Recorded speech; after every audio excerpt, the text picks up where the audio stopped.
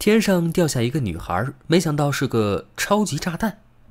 今天给大家带来奇幻故事。有一天，天上掉下了炸弹。考试成绩出来了，小聪考得十分糟糕，连 C 都拿不到。他十分绝望地扔掉成绩单，跑到天台透气。女友来天台安慰他，千万不能灰心。随后，女友回了教室，小聪躺在天台放空自我。这时，天上掉下来一坨东西。他仔细一看，竟然是一个少女，于是赶紧站起来接住少女，结果俩人摔成了一团。男主发现这个少女竟然和中学同学姚香长得一模一样，但是少女说自己叫帕鲁卡，并且告诉小聪她不是人，而是一个炸弹。为了让小聪相信，他还将嵌在胸前的时间表拿给小聪看，每次他一感到心动，时间呢就会往前走。指针指到十二点的时候啊，它将瞬间爆炸，然后毁掉整个东京。为了加速爆炸，他立马牵着小松的手去约会，坐过山车，吃雪糕，拍大头贴。他们做了一切情侣会做的事儿。帕鲁卡还将他们俩的大头贴贴在小聪的手机壳上。小聪一度怀疑帕鲁卡就是姚香。他想起中学的时候，有一次他遇见肚子疼的姚香，在他的帮助下呢，姚香吃下了药。姚香带他来到自己的秘密基地。姚香说自己经常幻想有颗炸弹突然坠落，炸掉城市，只留下蓝天白云。小松觉得他的想法很另类，却不明白他饱受病痛的折磨。姚香暗示小聪吻自己，但是小聪害羞地回避了。之后两人分到了不同的班级，于是渐行渐远。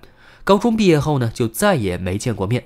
就在小聪想着帕鲁卡到底是不是遥香的时候，帕鲁卡因为太热流出汗，汗水滴在地上炸开了。小聪这才相信帕鲁卡真的是炸弹。原来他的汗水全是硝酸甘油。现在的帕鲁卡呢，就像个活炸弹一样。小聪问他就不能在没人的地方爆炸吗？比如去太平洋的中心什么的。帕鲁卡说：“没有人就不会心动了，不心动呢就无法爆炸。”作为一个炸弹不爆炸，那就没有意义了。说完，又要拉上小聪约会。对此，小聪表示啊，想死你自己去死好了，干嘛拉上我？帕鲁卡听完，伤心的流下眼泪，眼泪掉在地上，瞬间将小聪炸飞了。之后，帕鲁卡就难过的跑开。从地上爬起来的小聪突然发现帕鲁卡知道自己的名字，他意识到了什么，于是跑到遥香以前带他去过的秘密基地，果然在那里找到了帕鲁卡。帕鲁卡问他：“活着很累吧？